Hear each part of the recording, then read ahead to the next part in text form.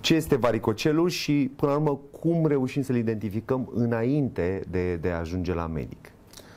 Varicocelul este o afecțiune a bărbaților, este o afecțiune la nivelul testiculor și se uh, caracterizează printr-o dilatare a venelor testiculare.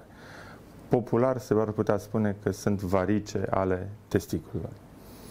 Ce, ce putem uh, simți sau ce simte un bărbat este presiune uh, după efort îndelungat sau după stat în uh, picioare mult timp.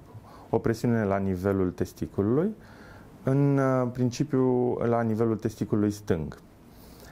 Această jenă poate să devină permanentă în cazul unor varicocele de grad 2 sau grad 3, iar un alt simptom, înainte de a ajunge la medic, uh, bărbatul experimentează dureri la nivelul testiculului după contact sexual, ceea ce îi dă un disconfort și îl pune pe gânduri. Să înțeleg că asta ar fi, de fapt, uh, unul dintre principalele simptome care ar trebui să ne trimită la medic neapărat. Mai există și alte simptom, uh, sim, alt simptom care ar trebui să te, să te determine să ajungi de urgență la medic? Adică vorbim de o, o, o afecțiune care necesită intervenție urgentă, adică se poate ajunge la situații urgente? În principiu nu. Uh, e o afecțiune care se dezvoltă în timp, nu există un puseu acut.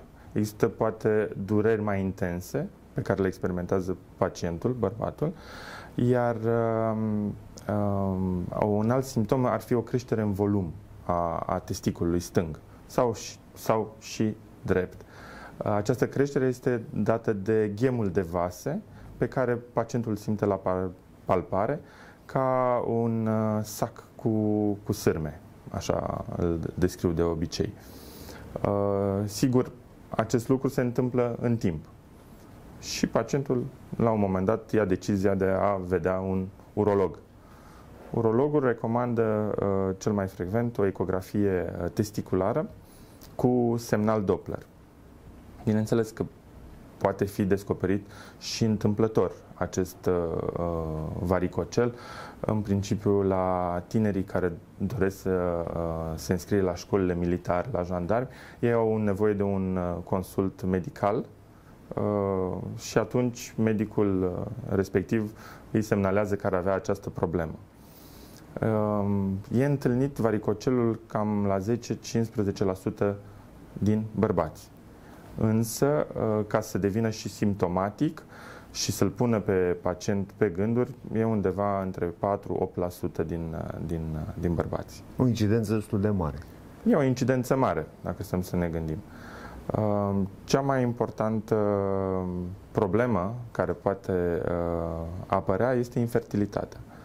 Iar în cazul bărbaților care ajung să aibă această problemă de infertilitate, cam 8%, 8 din 10 bărbați sunt uh, depistați și cu varicocel. Deci, în rândul bărbaților care au problema asta de cuplu, 8 uh, din 10 au, au și varicocel. Și atunci, sigur, uh, ei trebuie să urmeze o cale de tratament. Acum v-aș întreba, până la urmă, dacă se ajunge totuși și la necesitatea unei operații. Care este diferența între operația clasică și uh, embolizare? Intervenția clasică făcută de medicul urolog da?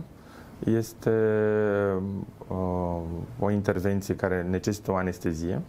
Acum, în funcție de uh, medicul operator, se ia și decizia anesteziei.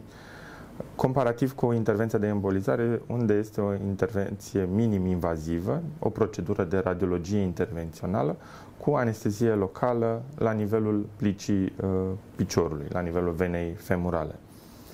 Um, un alt, o altă diferență este timpul de spitalizare. Uh, la intervenția de embolizare acesta este de 3 ore.